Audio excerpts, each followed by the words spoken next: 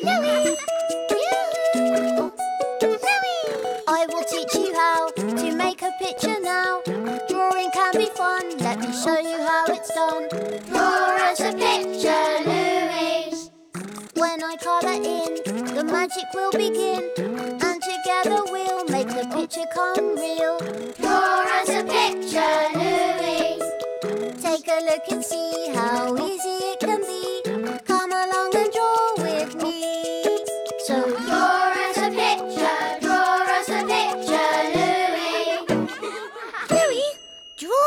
ogre. Ta-da! Now you can open your eyes. Oh, A surprise party. Thank you, Sophie. mm, I love eating cake. And I made all of them myself. Well done, Sophie. Oh, hello there, my friends. Hello, Louie. Hello, Yoko. Hello, Sophie. Mmm, it looks good. Which one's for me? The green or the pink? The green one. And it's a special cake, mint and spinach. Mm, yuck.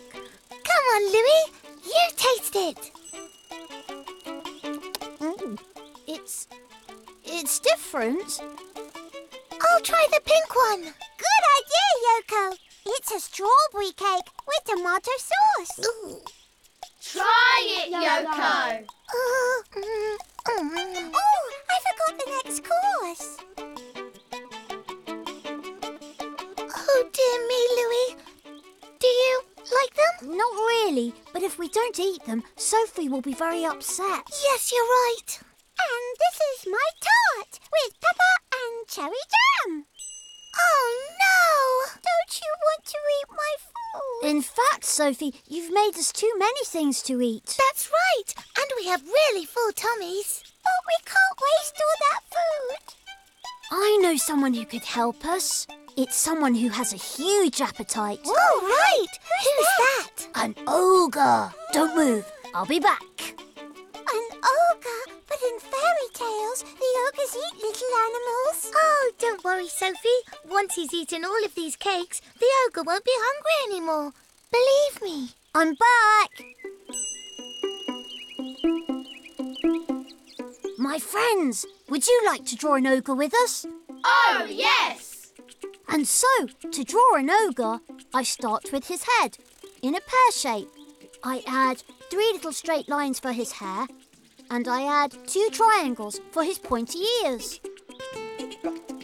Then I give him a big nose with two dots for his nostrils, two little dots for his eyes, and then I add a wide mouth. Oh, yes, so he can eat lots of cake.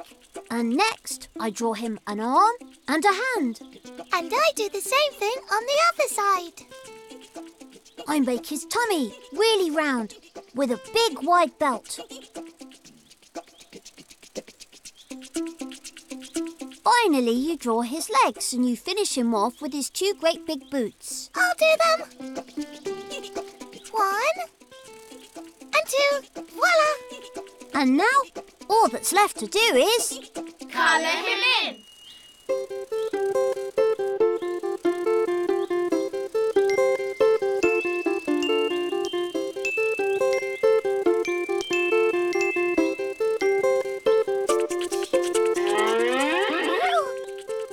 Hello, my name is Hector.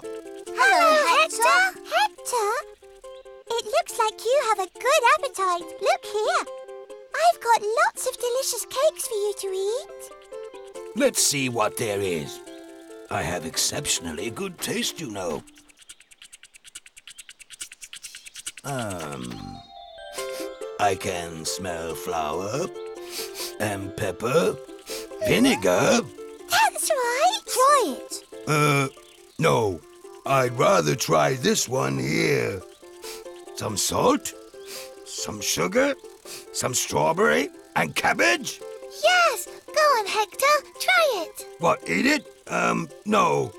There's far, far too much, um, for me, for me to eat. Uh, in fact, I must be off now. Uh, I have a meeting.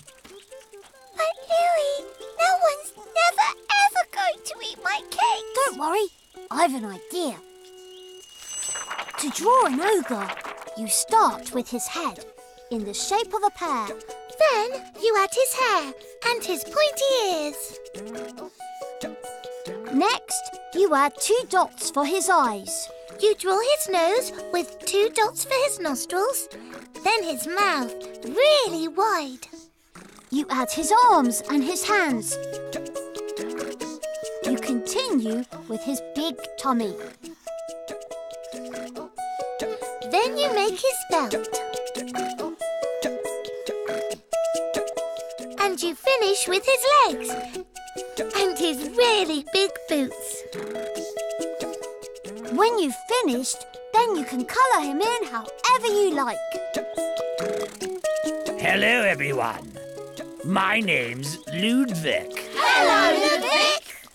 Do you like eating? That smell. Oh. That smell. It smells like cakes. I love cakes. Mm, I love them.